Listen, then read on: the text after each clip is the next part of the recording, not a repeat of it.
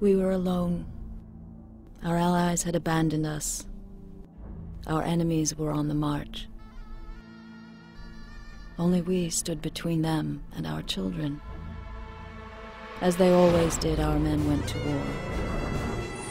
And though they fought bravely, many never came home. Only the women were left to lead our armies, and we did.